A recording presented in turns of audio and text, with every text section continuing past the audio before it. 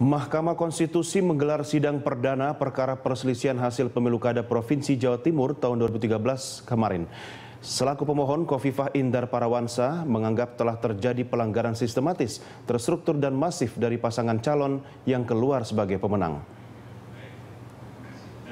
Bersama Herman Suryadi, Kofifah selaku pemohon menganggap ada penggelembungan suara pasangan yang menang dalam pemilu kada Jawa Timur, Soekarwo dan Saifullah Yusuf.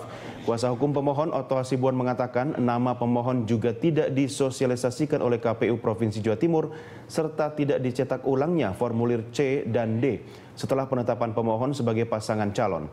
Pihak Kofifa mensinyalir adanya penggunaan dana APBD oleh pasangan nomor urut 1 Soekarwo Saifullah serta adanya keterlibatan PNS dalam kampanye mereka. KPU Provinsi Jawa Timur selaku pihak terkait membantah adanya penggunaan APBD dalam kegiatan kampanye pasangan nomor urut 1. Mereka justru telah meminta keterlibatan KPK dan BPK jika diketahui adanya penyimpangan. Tuduhan itu juga dibantah pasangan nomor urut 1.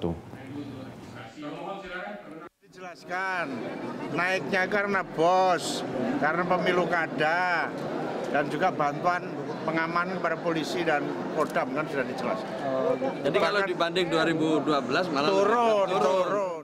Kita akan membuktikan dengan saksi fakta. Di samping saksi fakta, kita juga mengajukan saksi ahli.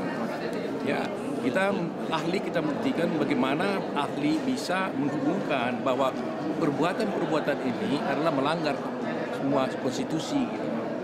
Ya kan? Memanfaatkan dana masyarakat, dana pemerintah untuk kepentingan tertentu.